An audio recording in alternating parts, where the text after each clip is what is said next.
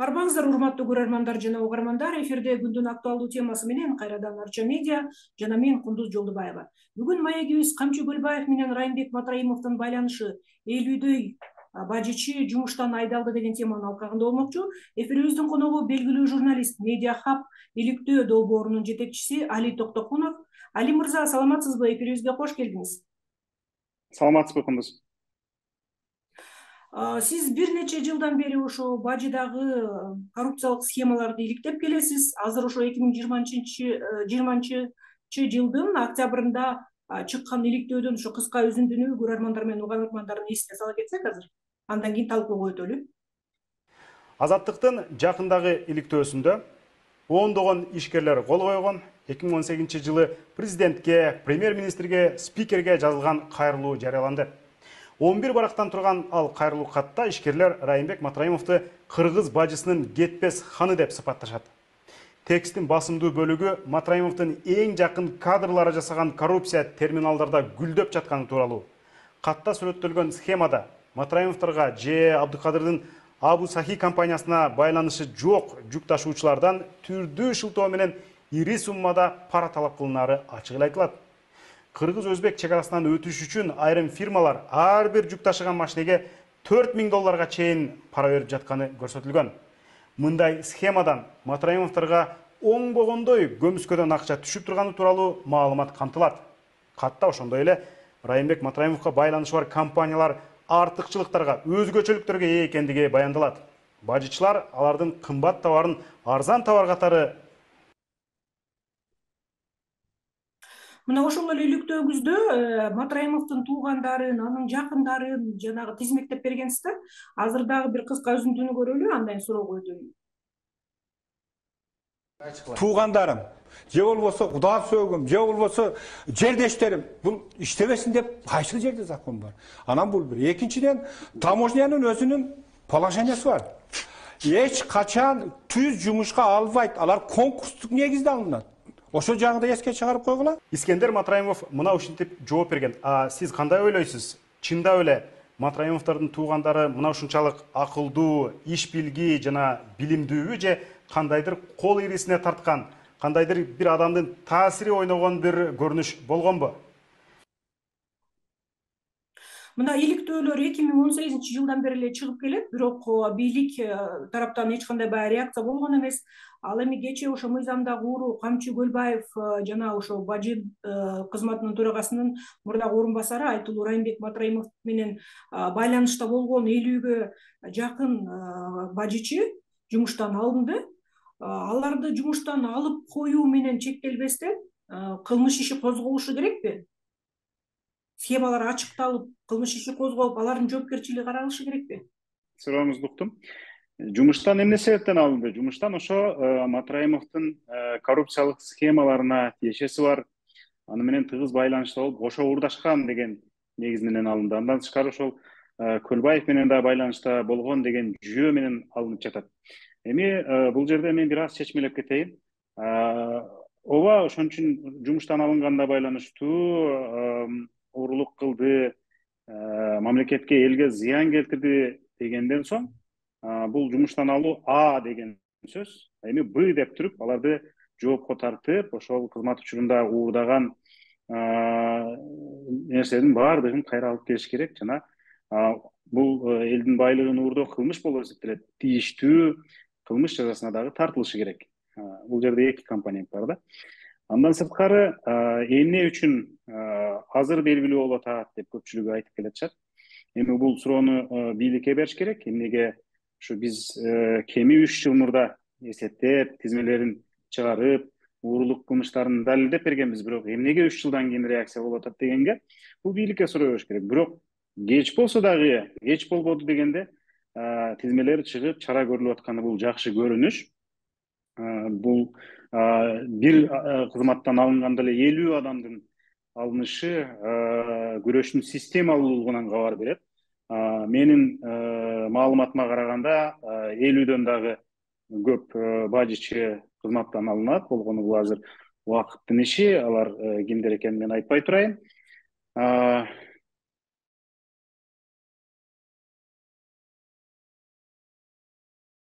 деген максатта сөзсүз түрдө жокко тартылышы керек. Анан сиз мындан мурда ишкерлердин каты деген биздин иликтөөбүздөгү компонентти көрсөтүп бердиңиз. Ошол жерде ондогон ишкер биз куурадык. Буларга тиги шапкесин бере берип акча бере берип куурадык аябай кыйналдык деп жазып бирок аноним бойдон калышкан. Себеби дегенде алар булар ушул матраимов баштаган адамдардын жазаланаарына ишенишкен эмес. Алар деген убагында атамбаевдин бийлигине кайрылышкан алар деген убагында жээнбековдун бийлигине кайрылышкан алар ушул садыр жапаровго дагы кайрылышса керек. Бирок ага чейин иликтөө чыгып атат. Эми ошолор эмне үчүн аты жөнүн жашырып калышты? Себеби дегенде алар өздөрүнүн өмүрлөрүнүн ден соолугуна залал келтирип алуудан коркушкан. Анткени матраимов жана алардын кишилери мындай адамдарды криминал менен коркутушкан. Криминал менен коркутуп кыңк десеңер биз жазаңарды беребиз деп ошон үчүн алар ооз ачалгыс болуп араңдан зорго аноним түрдө кат жазып атып анан өздөрүнүн арыз армандарын айтып отурушат. Буларды мындай сыздаткан адамдар ошол эле таможниктер ошол матраимовдун айланасында жүргөн адамдар сөзсүз түрдө жазага тартылышы керек ал жерде чоң адам укугу адам укуктарын бузуу дагы бар. Анан мен буга чейин деле айтып келгемин дагы айтам райымбек матраимов бул уурулук бажыдагы уурулук системасынын жүзү бул бренди. Ал албетте жалгыз уурдаган эмес. Мына ошондой өзүнүн айланасындагы бажычы адамдары менен кошо уурдаган аларды кошо жоопко тартыш керек. Жана ошондой эле райымбек матраимов өзүнөн жогорку бийлик адамдары менен ошол уурдалган байлыгын бөлүшүп турган. Мына ошол райымбек матраимов жана андан төмөнкү бажычыларды төмөнкү бажычыларды кармап жоопко тартканда ошолор жогорку бийликтеги кимге кандай пара бергендерин менимче айтып беришет. Ачыктап ошо иштен алынган элүү адамдын арасында камчы көлбаевдин иниси бакыт асанбек уулу бар экенин массалык маалымат каражаттары жазып чыгышты азыр интернет айдыңынан алынган бир тасманы көрсөк андан кийин суроо койдой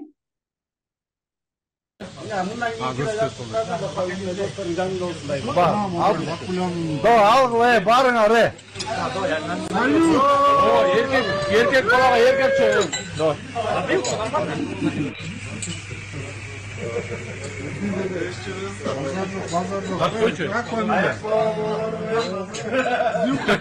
Давай снюхай. Снюхай, бакуля. Al dur. Bak. Beş kol beş olsun. Edu. Al kız dolu be.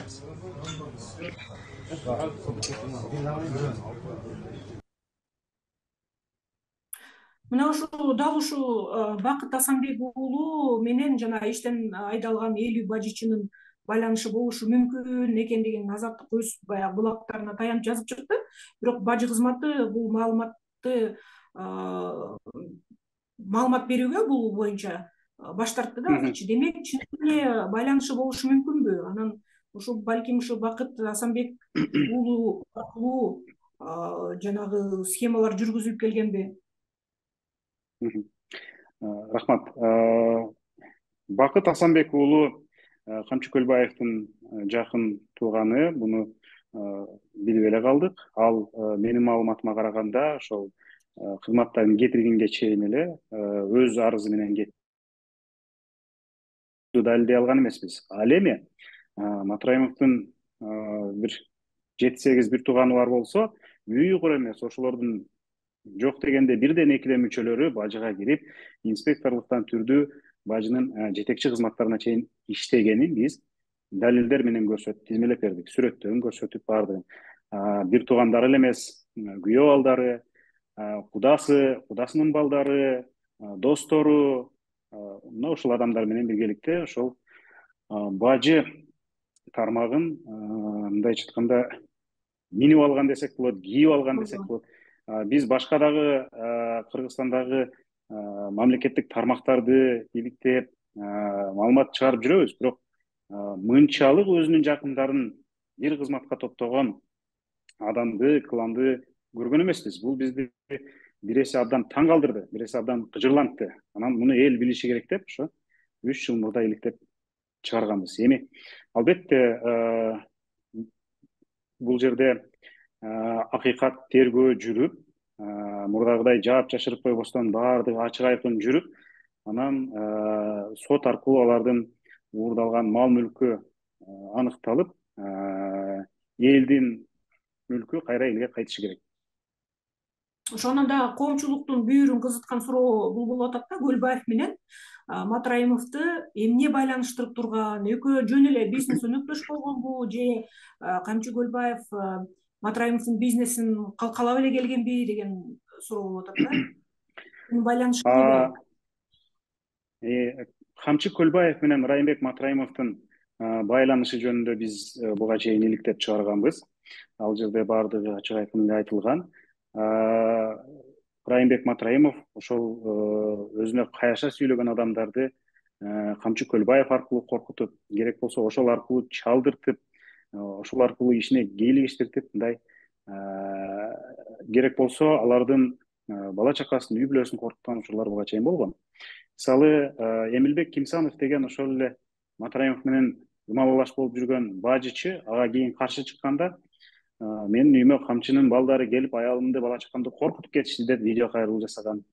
Андан тышкары ошо бизге тиги бажы дагы коррупция боюнча иликтөөгө көмөк көрсөткөн айеркен саймаити мени камчы көлбаев аркылуу коркутуп атат деп кабар берген. Андан башка дагы бир топ адамдар жана эле биз атап кеткен ишкерлер мына ушундай маалыматтарды айтып көрсөтмөлөрдү журналисттерге беришкен.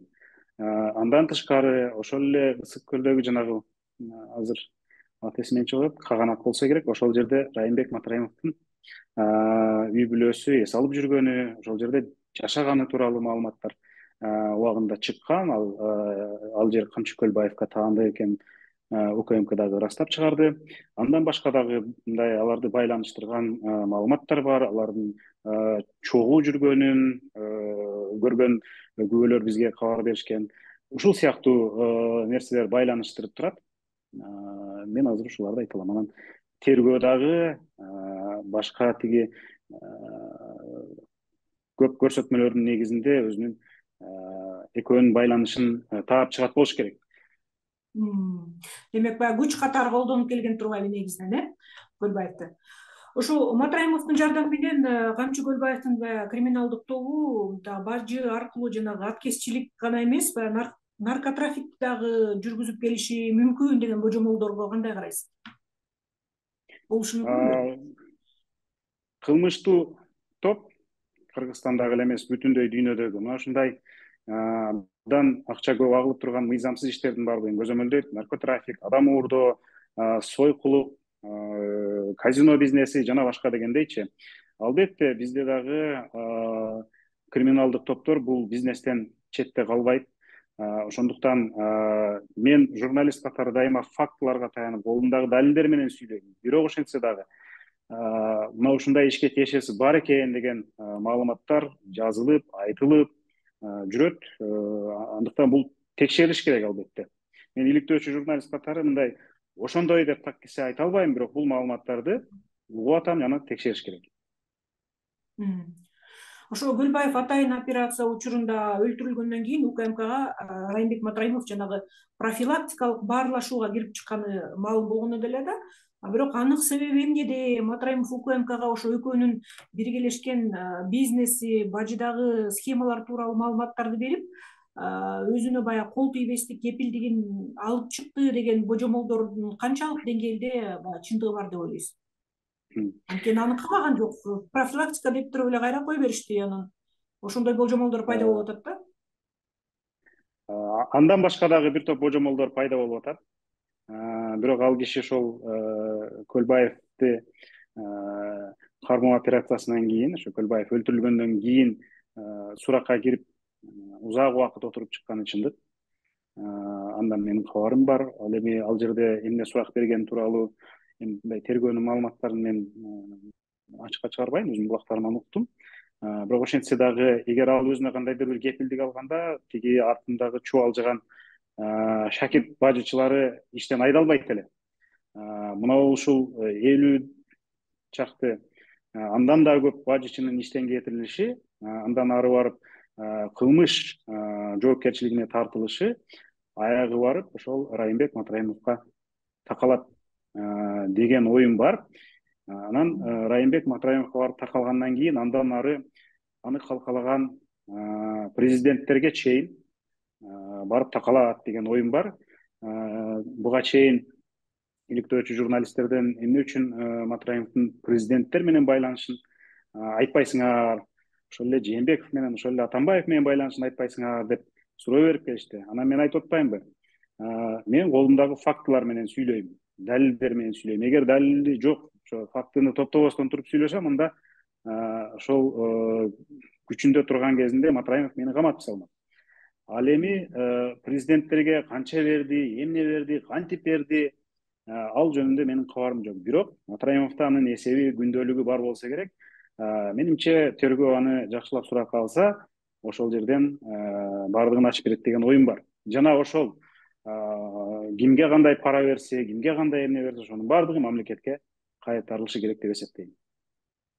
Демек матраимовдун өзүнө дагы кылмыш иши козголуп калышы э, толук ыктымал турбайбы э эгерде ошо эми албетте элүүдөн ашык бажычыны сураганда алар э, өздөрү жөнүндө эле айтып ошону менен токтолуп калат деп ойлобойм алар ким менен бөлүшкөн кимге канча алып барып берген баардыгын айтып берет. Мисалы бир эле машинеден бир эле машинеден сегиз жүз доллардан үч миң долларга чейин алды деп бирөөлөр айтып атышпайбы?